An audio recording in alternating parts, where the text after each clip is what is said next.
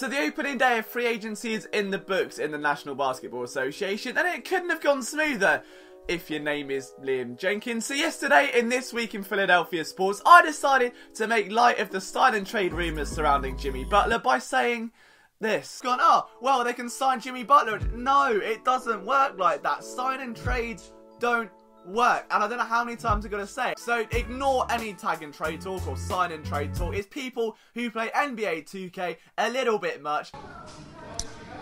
That went well. Yeah, not my finest moment. Maybe I will, instead of sticking to soccer, stick to football. But today is not that day. There are about 77 moves made by the Sixers yesterday, so someone's got to break them all down. So here are my takes on everything we saw from Elton Brand and his super team during the opening day of free agency. Day started off in a less than favourable manner. The Sixers lost out on JJ Redick to a team that maybe overpaid him, the New Orleans Pelicans. And I don't think they did. There were rumours coming out earlier that day that Redick said that he wanted to retire as a Philadelphia 76er. And if I'm honest, I've said this before in videos and podcasts where stuff only comes out if people want it out there. It wouldn't surprise me in the slightest if Redick was just trying to push that momentum forward a little bit, maybe gain some traction, see if he could up the offer from New Orleans. And if the Pelicans really wanted him to build around, bearing in mind the offseason they've had, and that he wants to retire elsewhere, they're gonna up their bid. So if they were really locked in, they probably haven't overpaid. They've overpaid in comparison to what the Sixers would have paid and have probably advised against doing so. The loss is a big one. Redick set new career highs in scoring in both seasons with the Sixers. Looking back at that Tobias Harris trade, maybe being so prompt to get rid of Landry Shamet will come back to sting them because Shamet, as we all know,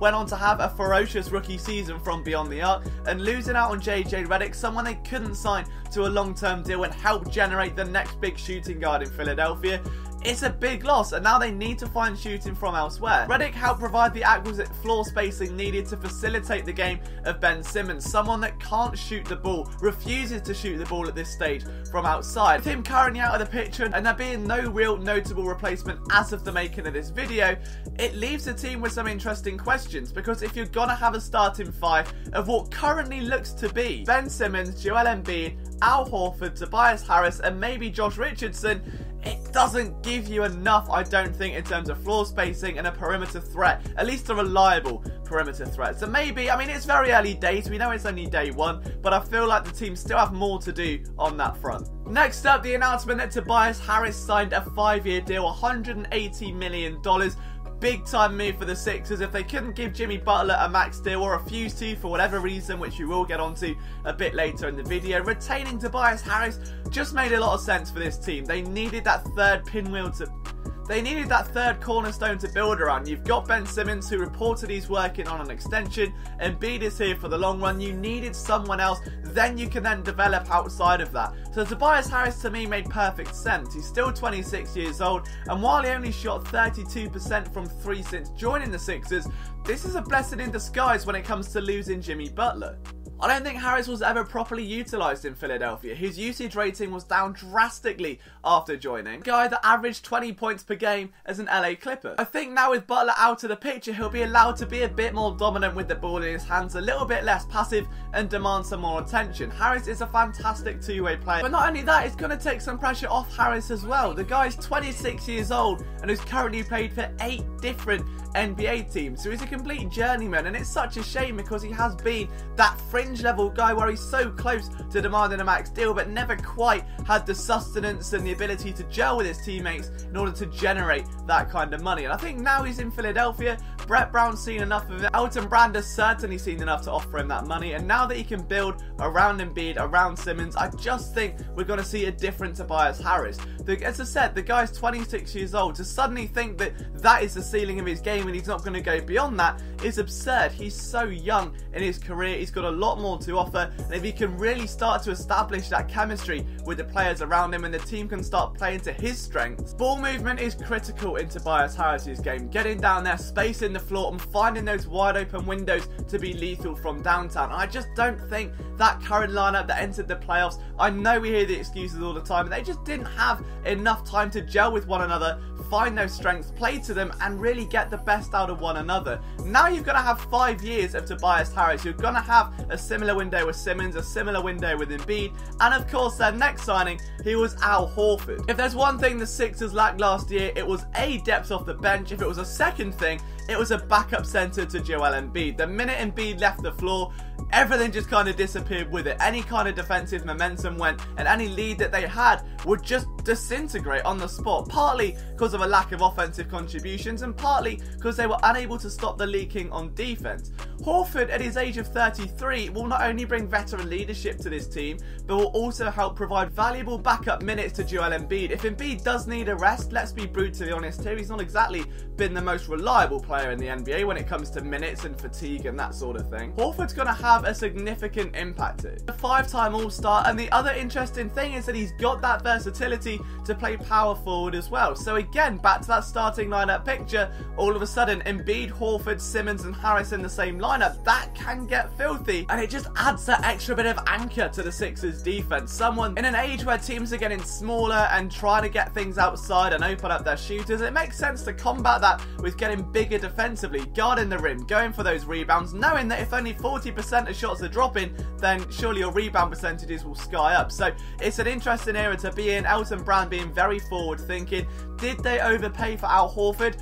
I think it's debatable, but they're at the end of the day protecting their investment in Joel Embiid because if he goes down, there is so much pressure on him. It's not like we can go, all right, let's give Joel Embiid a little bit of a lighter workload tonight because we know we've got X player here to take that strain off. They don't have that. They finally get that level of luxury with Al Horford, someone that has been a starter throughout his career, a five-time All-Star. Also, let's not forget, someone that shot 36% from beyond the arc last season, so he does bring shooting value as well. Scott signed a two-year extension and the Hive can stand up. Averaging 7.8 points per game, shooting 40% from three. He had three different double digit games during the playoff run. He just became a valuable bench piece. And again, back to my earlier point, the Sixers severely lacked bench depth last year. So I think adding Mike Scott presence back into the equation, bringing that grittiness, that toughness, Philadelphia fell in love with that guy because a, he ain't no bitch, and B, just the way he carries himself, it is that gritty, hard-nosed,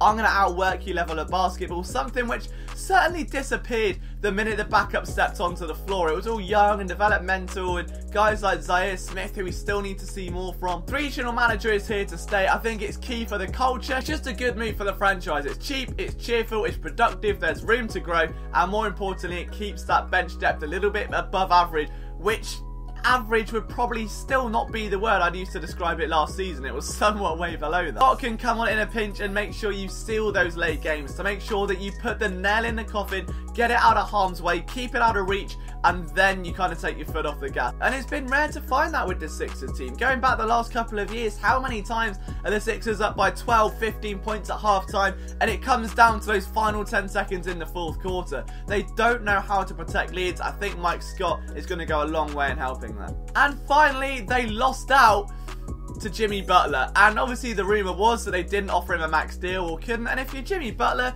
I don't think you can get too annoyed because if you want to be the key point of a team, the focal point of a team, you're not going to be that so long as Joel Embiid, Ben Simmons, and arguably even Tobias Harris are around. So from his perspective, I understand it.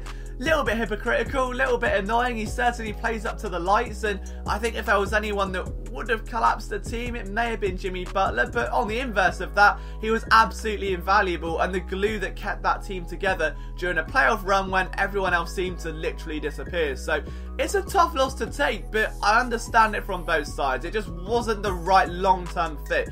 The Sixers made the move to push them into contention and win now. They certainly did that. One can argue if it wasn't for a quadruple bouncing Kawhi Leonard 3 to seal the deal in Toronto, the Sixers would be the NBA champions right now, given how the rest of it all played out. That move to acquire Jimmy Butler paid off, but now they've got to build around the team that they've got and keep a core. You weren't going to do that by locking up money with Jimmy Butler. So what they did was sign and trade him as opposed to letting him go for nothing, and they get back 25 year old Josh Richardson. He's coming off his best season yet. He averaged 16 points, 4 assists, and around 3.5 rebounds per game. There's a lot of room to grow there for Richardson. He's a good two way player. He's going to fit in well with this Sixers roster, and he shot over over 35% from three, so one can't complain too much. Richardson has the ability to start. He's a kind of fringe guy at the moment. Will he grow into a starter, a long-term piece to build around? I don't know. That's what we're going to see moving forward. But is this team, compared to this time maybe Friday or Saturday night, better or worse? And as of right now, overall building standpoint,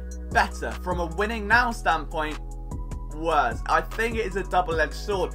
On one hand, you've got the fact that you've now got Al Horford and Tobias Harris locked up for over four years at a minimum. You're going to have Joel Embiid there for that time. Ben Simmons, if he signs his extension, will be there as well. That's four guys you can perennially build around. And maybe after that, that window, that is when you start grooming the talent like Zhaire Smith. That's when you draft the backup to Joel Embiid, the long-term heir to the shooting guard throne. So it makes sense. The Sixers have their call. Many other teams in this league will go for two All-Stars and then it drops massively. The Sixers aren't doing that. That is a very strong call. One that is now balanced in experience and youth, but the other aspect of it is that it is becoming a bit one-dimensional. There is no long-term shooting threat anymore. Redick is gone, Shamet was traded, the Sixers drafted defensively, which is fantastic, but it doesn't help their offensive production. And if Ben Simmons refuses to shoot, don't have someone that can space the floor. There's only so many threes Joel Embiid and Al Horford can pour in. Richardson wasn't fantastic. Harris wasn't fantastic from three-point range last year. They've got to find more reliability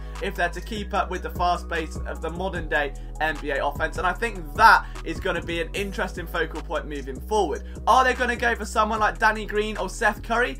I wouldn't bet against it, and I'd certainly be all for that kind of move, but only time will tell. Let me know what you think of the moves, guys. Have the Sixers improved or gotten worse in day one of free agency? Drop them down below, and don't forget to leave a like and hit that subscribe button if you enjoy this sort of content from myself, Liam Jenkins. You can follow me on Twitter at Liam Jenkins PSN. I'll see you soon.